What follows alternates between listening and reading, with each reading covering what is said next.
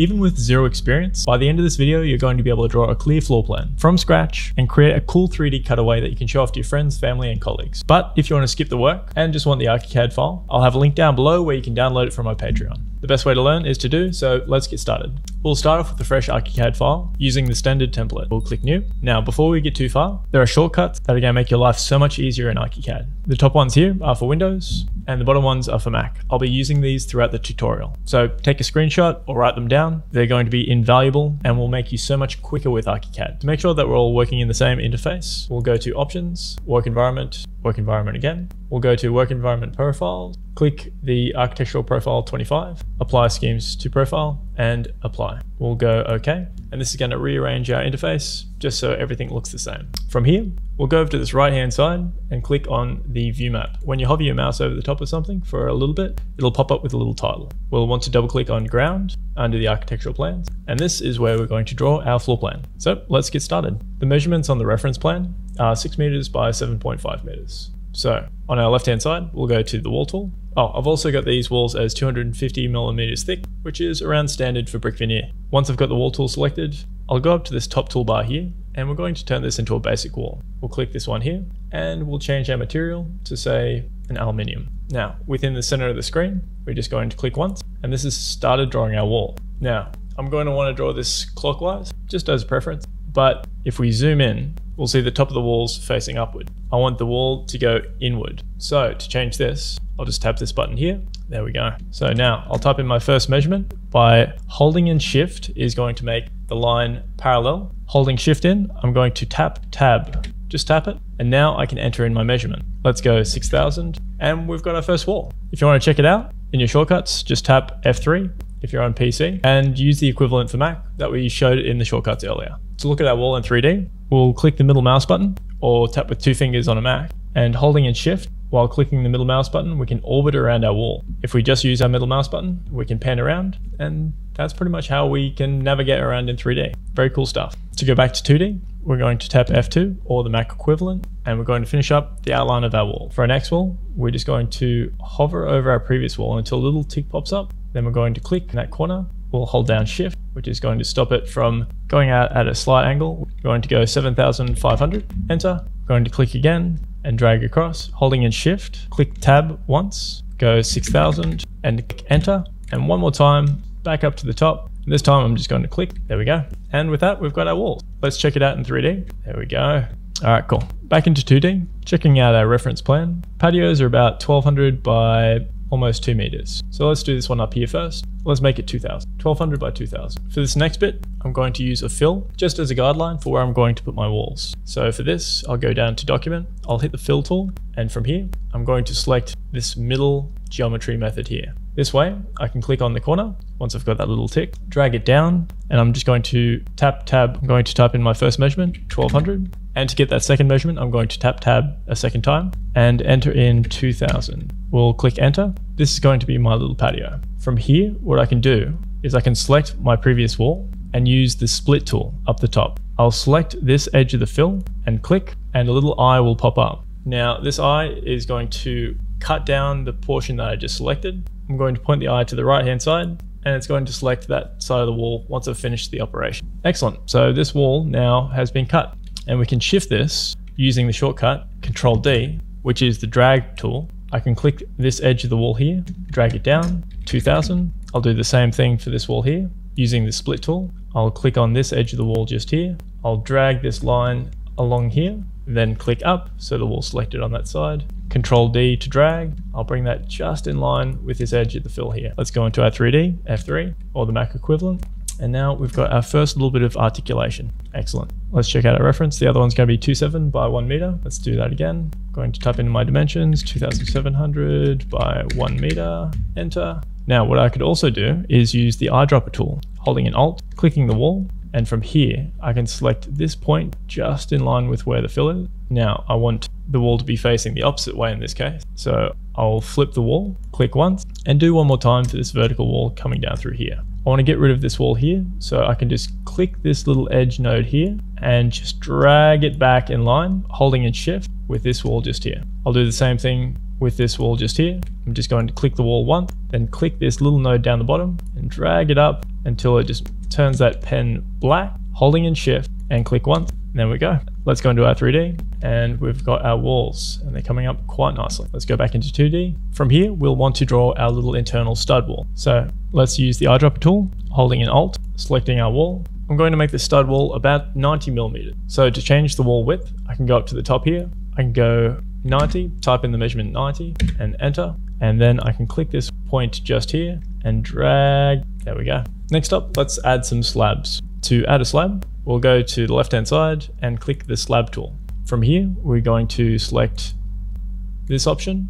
To draw a slab, it's pretty much the same as a wall. We can just click and drag. Let's go into our 3D and there we go. Now, let's say I just want the slab to go around where the walls are. I'll select the slab by clicking in the middle and I'll just delete it. I'll go to the slab tool. Very cool tool I'm about to share, the magic wand. I learned this like three years in it's such a powerful tool. If we hold in spacebar, the magic wand will pop up. From here, if we push it over to the edge of the wall, you'll notice that around the perimeter of the wall, a line pops up. If we click and we'll go into our 3D, it's just put a slab underneath where the magic wand has selected the perimeter of the walls. Really quick way of adding a slab to a project. Now, I'll want a slab for where the patios are too. In this case, I can just select the fill and holding in shift, selecting the second fill, then clicking delete, using the alt tool to pick up the slab. We'll drag from top down to bottom and we'll do it for this one too. We're starting to take form. Next up, let's put in some windows and doors.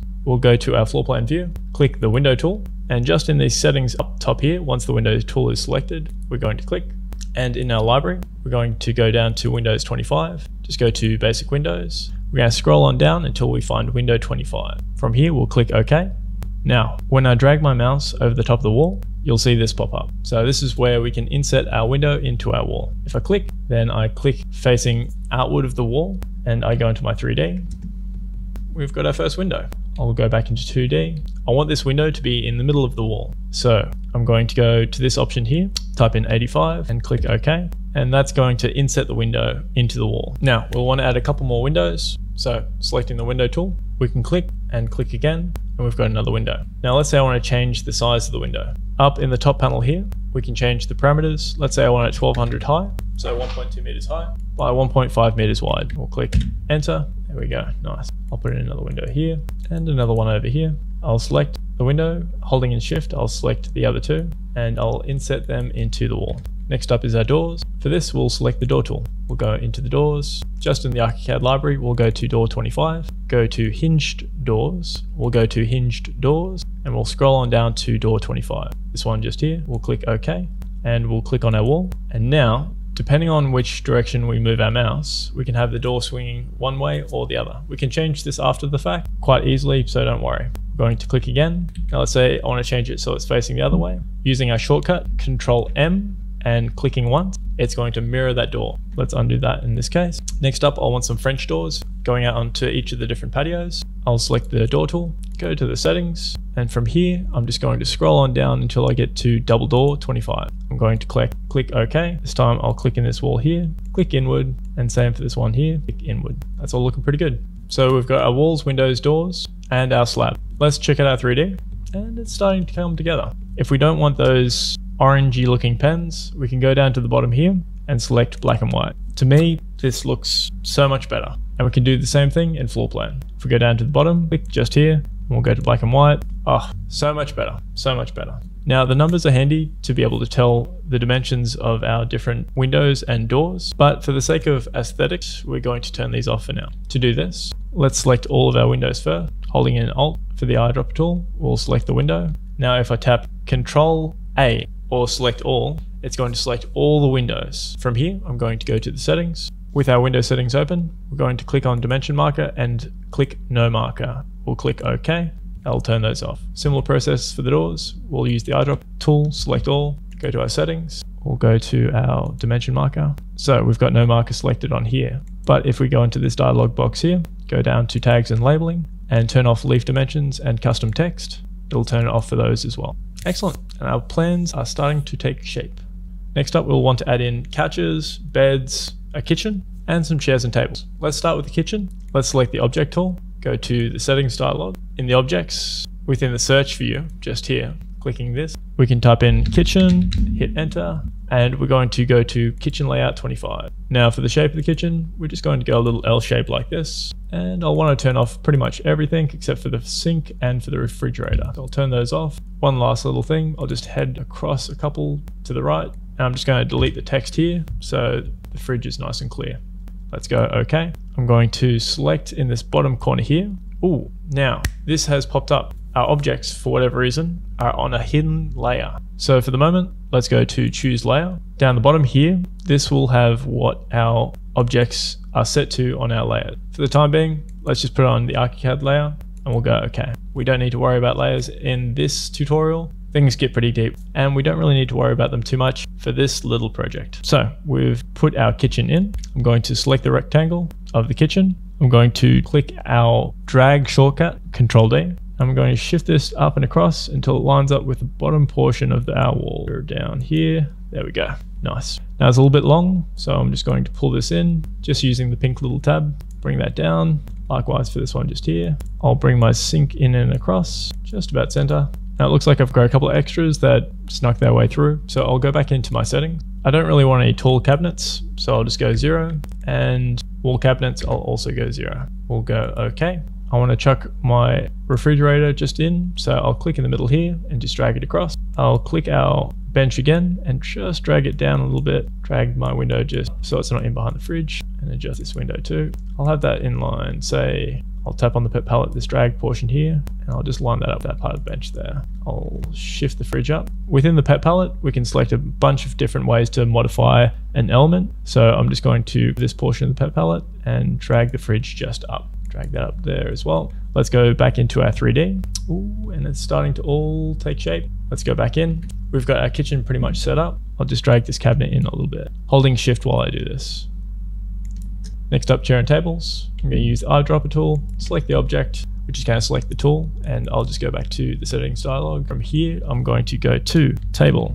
I'm going to go to round table. I only want four chairs. It's going to automatically change it. And we're just going to click OK. Click it in the middle of the room. And let's say I want to rotate this just so it's not so perpendicular and square. I'm going to Control E or the Mac equivalent of rotate. I'm going to click once, click add again. This is going to set our two anchors and I'm going to rotate the object just about 45. I want to bring the chairs in, so I'll zoom in. I'll select this just here and I'll be able to bring those chairs in like that. Let's go into our 3D, have a little look. It's coming along. Next up, same thing. We'll go to bed. Going to go to a double bed. We'll go OK. To click this one just in through here. Same thing. I could use the rotate tool or up the top here, I can just type in our measurement for the angle. We'll go okay. Want this one to be say 90 degrees. Got me set up. That one fits snugly in there. Next up, same thing, object for the cat. I'll go to this sofa bed just here. We'll go okay. We'll click in. I'll go control E to rotate, select the bottom and the top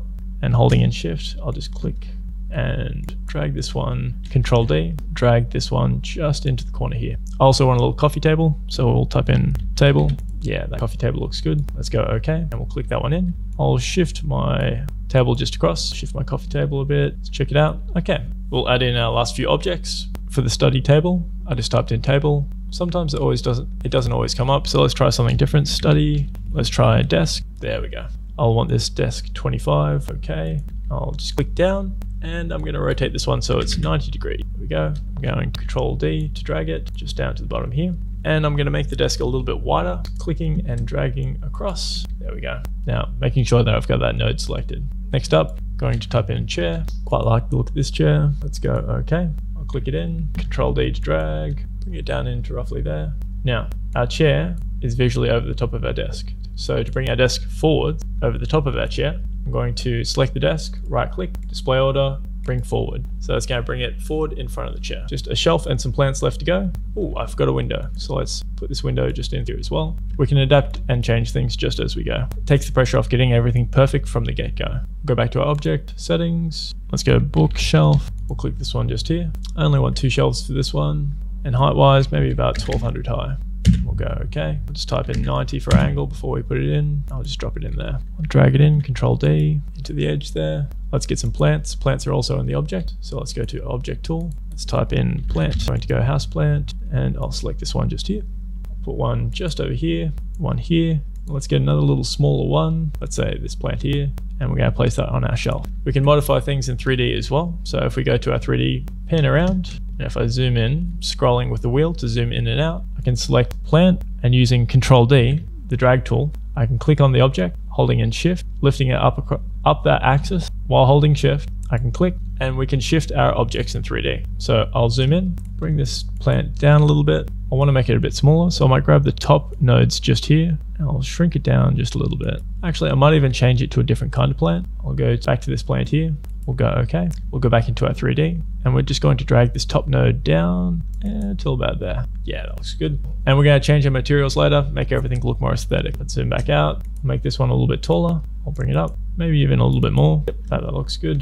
Do the same thing for this one just over here. I'll drag that node up. There we go. We can change this again later. Put another one just on top of my table as well, just in the center. It's crazy what a difference landscaping can make to a scene. Two objects left. Let's just put in some books and a cup. Go books, book cluster, okay. This one's 90 degrees. I'll click that in. I'll select Control D to drag, drag it into our bookcase. Let's check it out. All right, so we've got that column coming down the middle. I'll just go back into our settings. I'll take out the vertical pane. Let's go OK. We'll select our book, Control D, and I'll drag those down while holding in Shift, just so it stays vertical and doesn't want to pan around the place. And that's looking pretty good.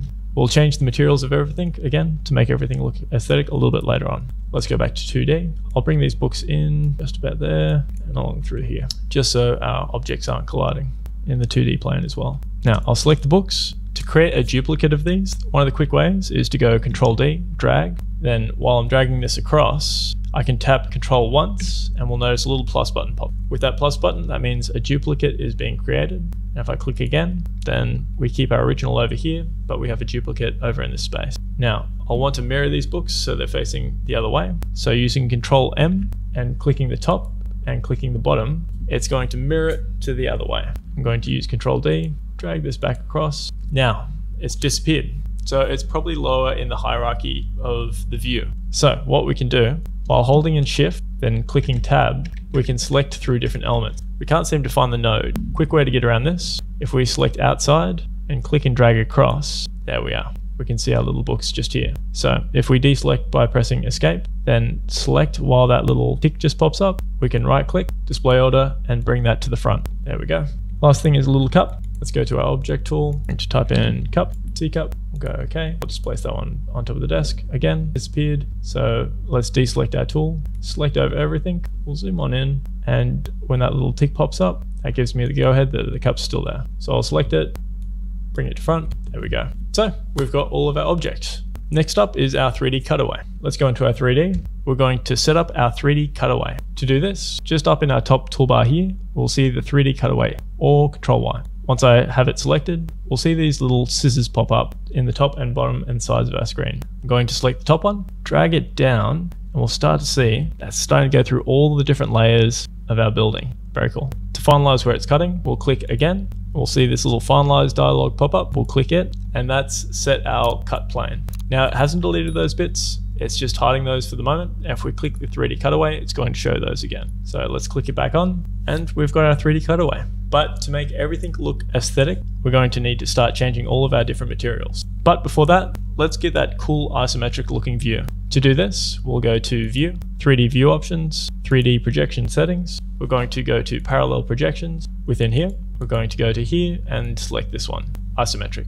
It's going to have all these values typed in here. And if we click OK, everything's probably disappeared. But if we double click the middle mouse button, or if we click fit to window in the bottom left hand corner here, views popped up. Excellent. Now, if yours has shown up a little bit different, it's probably because the camera has been set to a different place. So within these settings, we can change where the camera is showing just here. So let's say this is our house here, this is our camera, and we can pan to where we want it. So if I select this point here, we'll go okay. Again, fit in window, and it's gonna show it from another perspective. But we'll change that back to what we had it. We'll go okay, double click, middle mouse button, or just click this little button down here for fit in window. Cool. So that we can capture and save this view and don't have to keep on redoing that last step. We can go up to the top of the 3D just here, select out of that. Right click on this top bar here. We'll go save as view and we can give it a little custom name just under this name part here. We'll click on this tab, go custom, and we'll type in 3 3D view.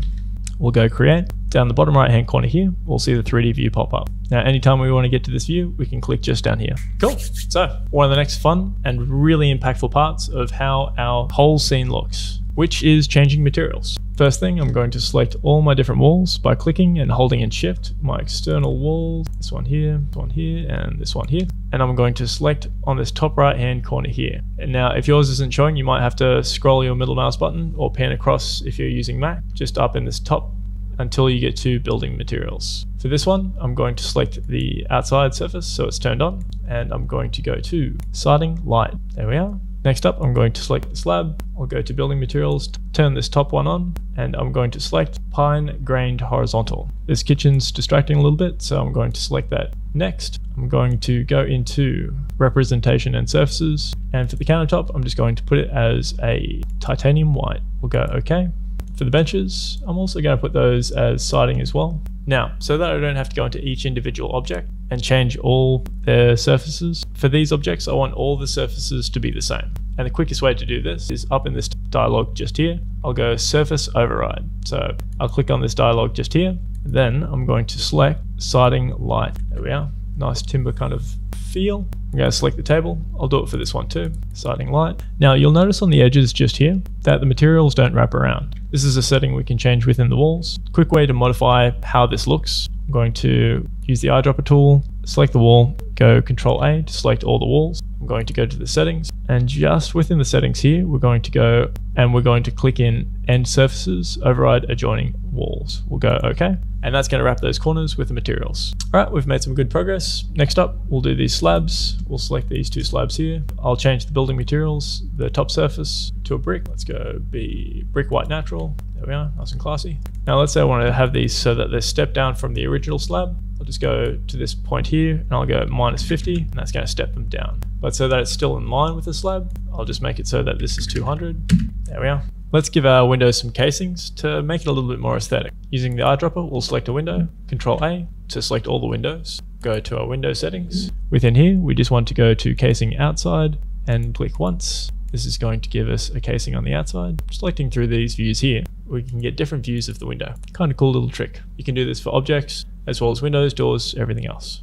Now, let's change the materials so it matches a more of a timber vibe. We'll select the dialog box and go down to model attributes we'll select pine grained horizontal. Let's also do this for the frames as well. Now with our dialog selected, we'll go to model attributes in here with uniform window surfaces turned on. We'll go to pine grade horizontal. We'll select OK. Hey, there we go. Next up, I'll change this door here. Going to make this one timber. So we'll go to model attribute. Oh no, we'll just go up to this here and select pine grained horizontal. We'll select OK. Now, what I'll actually do is I'll want this door opening a little bit just so we can see the bed, just gives it that little extra dynamic. So just in under opening type and angle, we're going to select 45. We'll go OK. Hey, there we are. I like that. For the bed, I want the bed head down a little bit lower so people can just jump onto the bed. Real kind of cozy cabin vibe. So I'm going to pop this one down to 500. We'll go OK. And that lowers that bottom part down there. These pots here, I want to change their base material. In the pots, I'll go into all parameters. And for the pot, I'm going to select, say, uh, light gray. Let's go OK. Distracts a little bit less from everything else. When you have a strong color, it tends to draw attention. Let's do the same thing with our books. We'll turn them to something a little less eye-catching. I'm going to change all the surfaces just here, go to like a sand beige. Now, as I'm pivoting and panning around, I can always just double click on my 3D view over here and it recenters it. We're getting closer, but I'd like some more soft surfaces within the scene. I'm talking some carpet, so let's add that in. We want the end scene to look like this, and we're getting pretty close. So within the 2D, let's select our slab, and I'm gonna draw it as a little rug just here. We can use tools in a somewhat unorthodox method to get the results that we want. I'm going to set this as 5 and that's going to push that slab up 5 millimeters. Let's go into 3D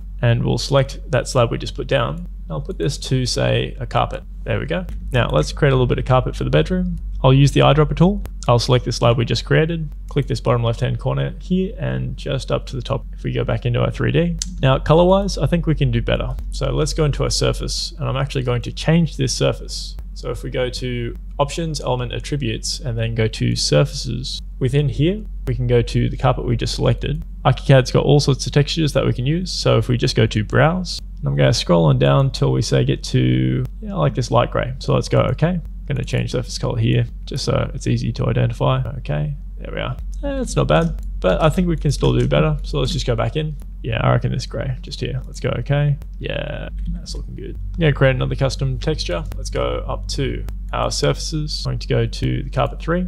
This time I'm going to create a new one. I'm going to call it carpet four after hitting new and I'm going to make it a duplicate and we'll go okay. And from here, I'm going to select our texture. This time I'll go to a lighter gray. I'll go okay, okay. And I'll want to change this chair so it's got that fabric kind of feel about it, but different to our carpets. Click so overrides and then we'll select our material to carpet four. Yeah, nice.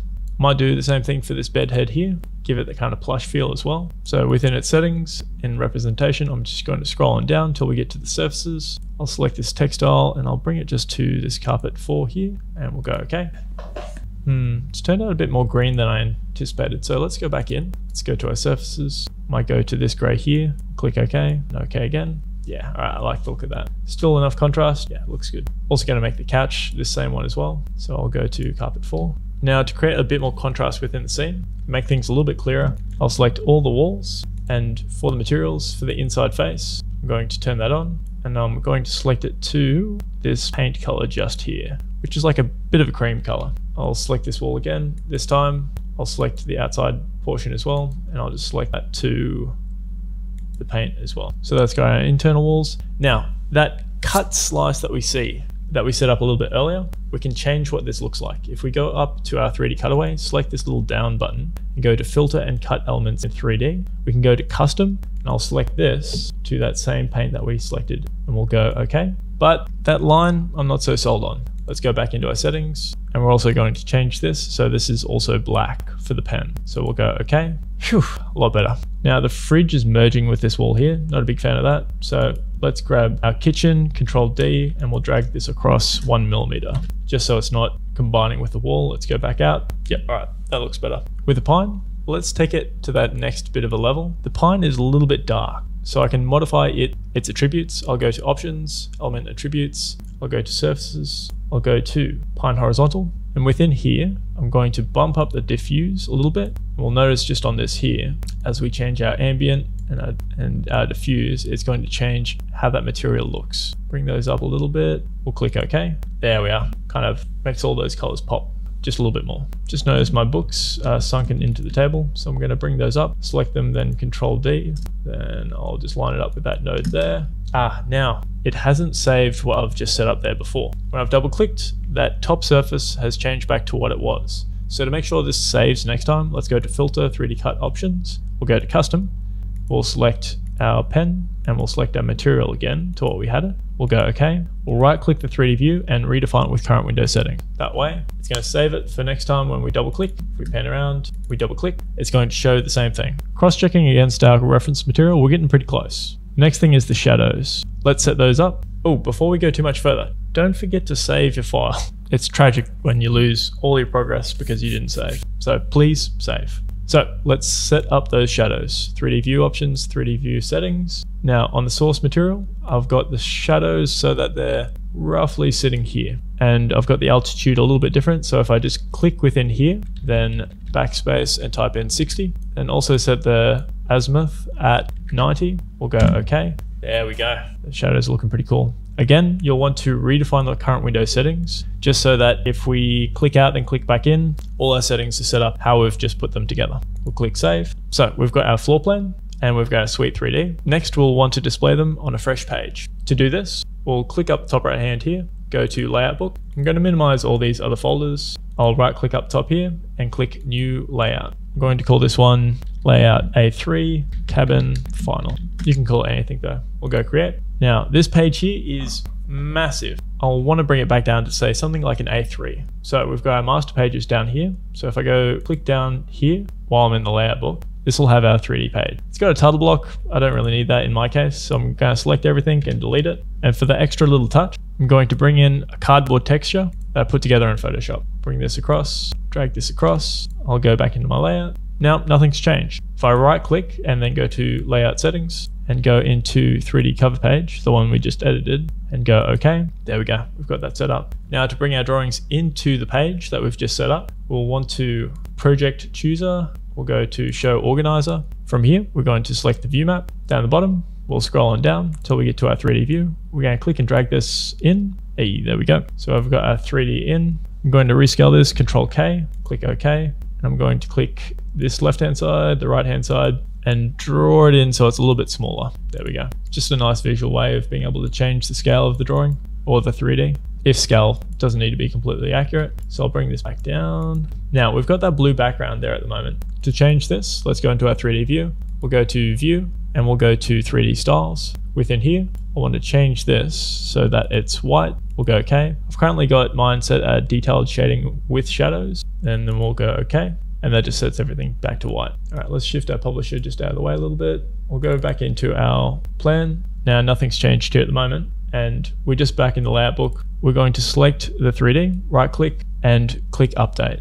There we go, that's updated there now. Let's also bring in our floor plan. So if we scroll back up to the top and scroll on down until we find say ground floor here, which we first started in, we can click and drag this onto our page. There we go. So we've got our floor plan. Let's drag this just down to here. Because scale doesn't matter in this particular project, I'm going to scale it up so it's a bit bigger. Let's say 200%, so just up in this top portion here, type in 200. There we go, that's pretty cool. I'll click Control D to be able to shift it around in my view. Control D, I'll shift shut down. Now, I don't want all these markers to be showing as well. So I'm going to select the view, click on the edge, and within the pet palette, I'll want to make sure I've got offset edge selected, and I'll bring this one in. Do the same for the other edges as well. Select this one, bring it in, one here, bring it in. I don't want these drawing titles, so I'll select both drawings. I'll, up in this top here, I'll scroll across until I find linear drawing title and go no title. Now, let's say we're not such a big fan of the blue. Let's go back into our 3D. We can delete this background. Let's chuck in, say, more beige background and drag this back up in our master layout. We'll go back to our page. All right, that's looking pretty cool. Let's go to our fill tool. So we can see our floor plan a little bit better. At the moment, I've currently got the background set as transparent. Usually it will look like this, but with transparent background set on, we'll be able to see through it.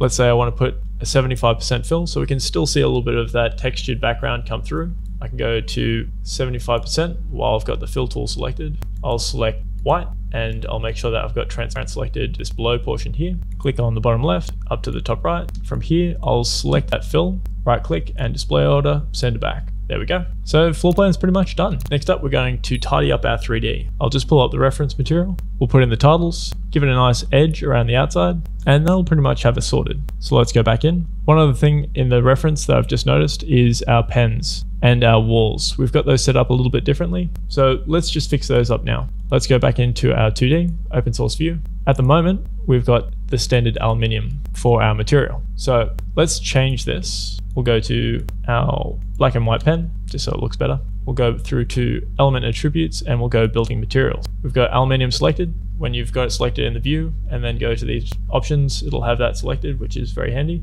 Within here, I'm going to change it from this gray to a black and we'll select OK. And that's going to change our material so all the walls are black. This is high contrast, makes it really stark and easy to read. For all the other elements, what I'm going to want to do is set up another pen. So within our pens, I'm going to go pen colors. I'm using black and white for our pens at the moment. I'm going to create a new set. To do this, I'm just going to double click this here, I'll bring this up to a bit of a lighter gray. We'll go okay. And that's created custom set. Now I want to store this as, I'm going to delete that copy part and just go dash two. We'll go store and that's created a new pen set. So this one here is all black and this one has got a little gray. So I'll go okay. I'll set my pens so it's the number two. Yep. I'll select all my doors. I'll go up to the top floor plan and section. I'll select all these checkboxes here and select them to these grays. Let's turn them gray.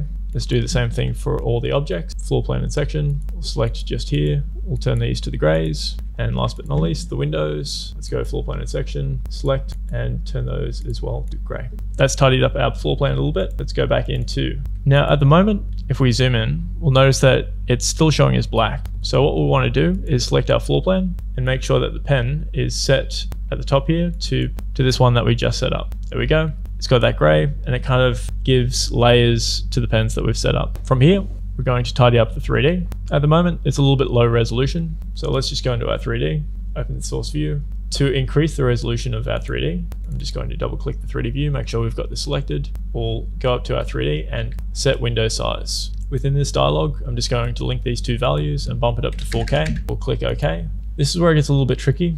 This window that we've got is larger than what ArchiCAD can show on our screen. So we kind of have to guess where that bottom portion of the drawing is because it's hard and we can't bump it up to the top. So I'm going to zoom in, pan, and then I'm going to right click and redefine with current window settings. Going to go into the layout. I'm going to right click on here and update, and this is going to increase the size of the drawing as well as the resolution. So when we zoom in, it's clearer than it was before. Handy little trick to draw the view out just by grabbing those edges. All right, from here, we want to get rid of all the white. But if we select it and we try and go transparent like we did for the floor plan, we'll notice these nasty little edges here. So we'll turn that back off and that's to do with the 3D render engine, but that's going into too much specifics there at the moment. So I'm just going to go around and I'm going to change by selecting in the middle of these points here. I'm going to select just here, bring this one down, just in line with the wall, select move node, in the pet palette here, this edge, bring it out. I'll just do this for the rest of the drawing, just so that we get rid of that white.